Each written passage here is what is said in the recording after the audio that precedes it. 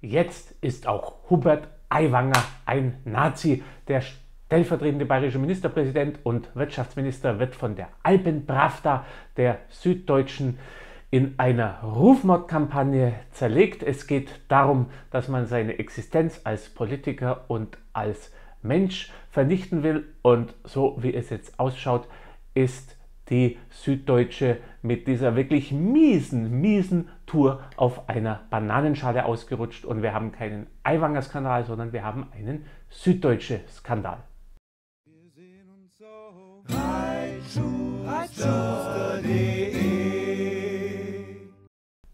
Es ist ein riesiger Artikel mit fünf Autoren und einem Mitarbeiter und so viel braucht es offenbar heutzutage für eine richtige Propagandaarbeit, weil was da in der Süddeutschen Zeitung zu lesen war, das ist für mich der Geist der DDR, das ist für mich der Geist der Stasi. Das hat nichts mehr mit Journalismus zu tun, das ist der Moment, wo Journalisten zu medialen Auftragskillern werden und wo es darum geht, jemanden zu vernichten. Das ist ein Machtwerk, ein Machwerk, das von vorne bis hinten perfide ist, von vorne bis hinten voller Manipulation. Ich versuche ganz kurz das darzulegen. Worum geht es? Es geht um ein sehr unappetitliches Flugblatt, das am Gymnasium von Hubert Aiwanger im tiefsten Niederbayern vor weit über 30 Jahren aufgetaucht ist und die Süddeutsche Zeitung beruft sich hier nun auf anonyme Quellen. Kein einziger Zeuge, der mit Namen genannt wird, die sagen, das sei von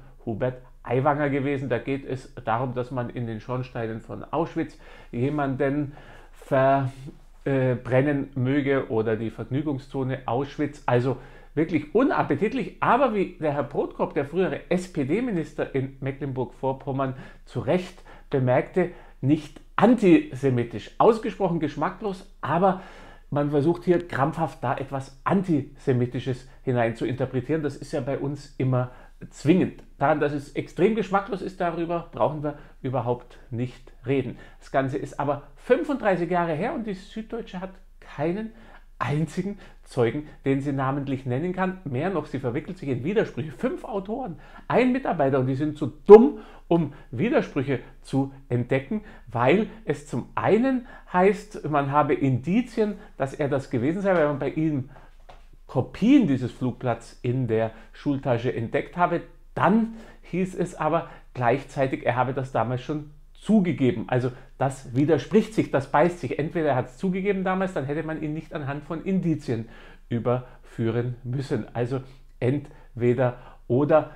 Aber beim Rufmord, da kommt es auf solche Kleinigkeiten nicht an. Das habe ich ja selber schon erlebt bei der Süddeutschen Zeitung. Der ganze Artikel ist ausgesprochen infam, also ich will die ganzen Einzelheiten jetzt gar nicht aufgreifen. Es ist immer dann nur soll, wahrscheinlich und zwischen den Zeilen und auf einmal heißt es dann, ja, kann der Söder mit einem Nazi-Bewunderer arbeiten? Also da wird überhaupt nicht äh, logisch äh, gearbeitet. Es geht nur darum, ins Unterbewusstsein der Leser da eine, einen Rufmord zu fremen.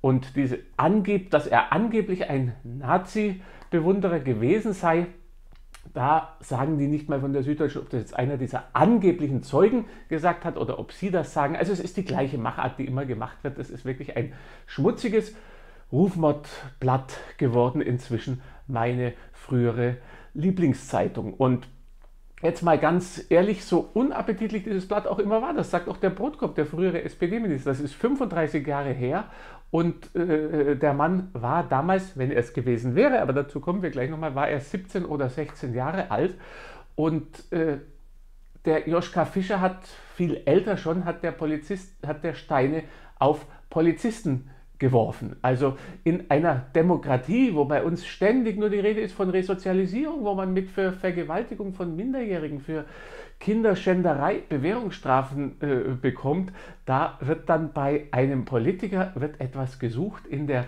Vergangenheit. Da gibt es bei anderen, ich will gar keine Namen nennen, Pädophilie, äh. Das spielt alles keine Rolle, solange die links und rot-grün sind. Dann dürfen die alles gemacht haben, auch Steine auf Polizisten werfen.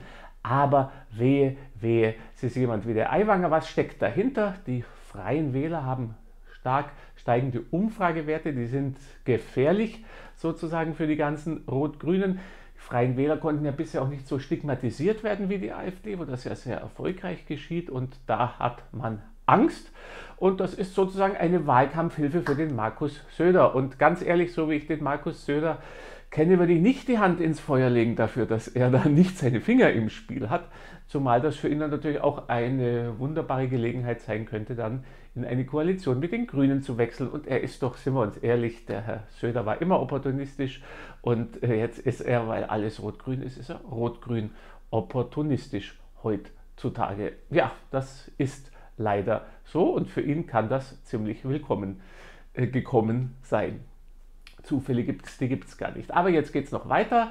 Am Samstagabend kam nun die Mitteilung von Aiwanger, dass das er nicht war, dass das sein Bruder war. Und damit ist auch eine inzwischen neue Erkenntnis angebliche der Süddeutschen ist äh, äh, damit äh, in der Luft zerflettert, weil die sagte, das war die gleiche Schreibmaschine, mit der der äh, Aiwanger seine Facharbeit geschrieben hat, naja, wenn es im Hause Aiwanger war, dann war das ebenso. Aber das sind nochmal, das sind Methoden wie beim Stasi und wie beim KGB. Man sucht etwas vor 35 Jahren, wenn man politisch sich nicht auseinandersetzen kann. Das ist Zersetzung.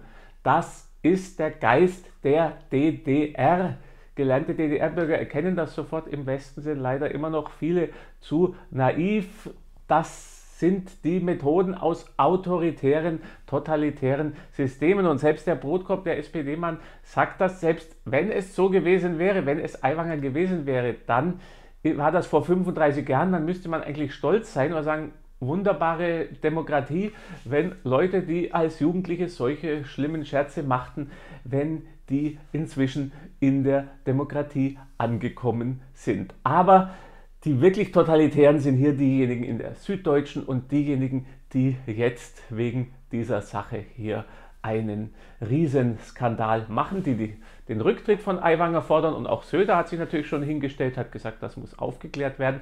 Und wenn es jetzt tatsächlich der Bruder war, dann ist es ein Riesengau für die Süddeutsche. Dann sind die bis an die Knochen blamiert.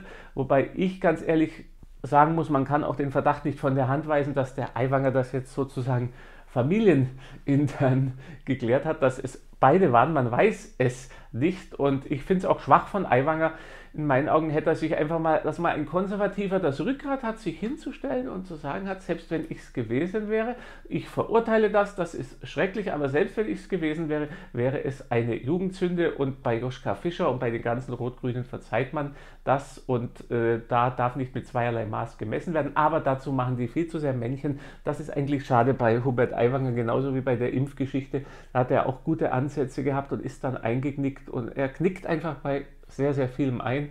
Und auch jetzt ist es wieder. Also so eine, also, ja, ist irgendwie für mich hat es, also auf Spanisch würde man wahrscheinlich sagen, ihm fehlen, ja, ich sage es jetzt nicht, was ihm fehlt, das, was viele zum Frühstück essen, aber ja, ein bisschen, so, so ein kleiner Nebengeschmack bleibt, aber die große Sauerei ist für mich in dieser Hinsicht wirklich das, was die Süddeutsche gemacht hat, das ist eine Schande. Und Kollegen, ihr solltet euch schämen. Und der Verlagsleiter Stefan Hilscher, das war derjenige, der mich ausgebildet hat, einst mit ausgebildet hat bei der Augsburger Allgemeinen. Und da ist, der ist dafür verantwortlich. Es ist eine Schande. Herr, Sch Herr Hilscher, Sie antworten nicht auf meine Briefe. Ich hatte ihn mal geschrieben, aber ich finde es eine Schande, was aus dem Haus geworden ist, das Sie als Geschäftsführer hier führen. Gut, aber es muss jeder mit seinem eigenen Gewissen vereinbaren.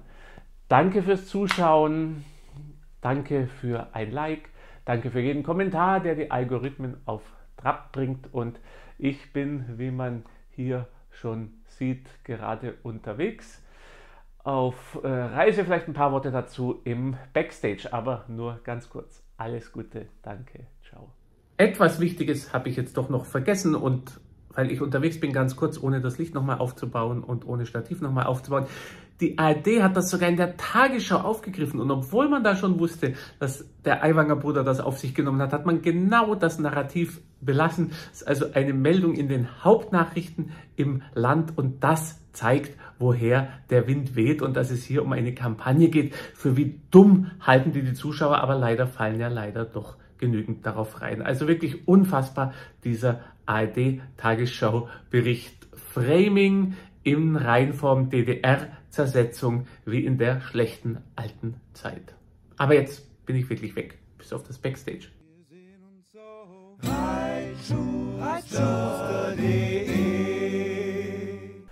Wie man an meinem Hemd wahrscheinlich erkennen kann, ist mein Koffer doch noch rechtzeitig angekommen. In Zürich, in Schweiz funktioniert das doch noch halbwegs, im Gegensatz zu anderen Ländern.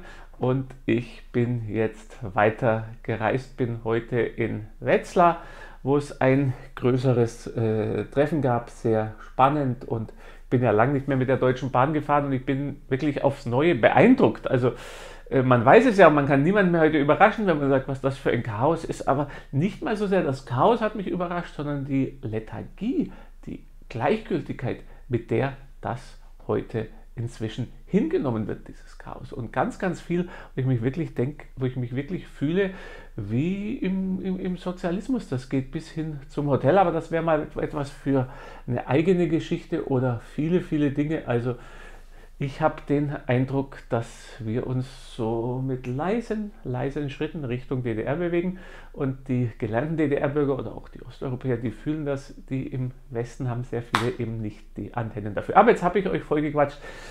Alles Gute, wir sehen uns bald wieder. Ich hoffe ab morgen oder dann danach wieder in gewohnter Umgebung, ja ich dann im September wieder in Polen bin, aber auch dazu bald mehr. Alles Gute, danke fürs Reinschauen, ciao.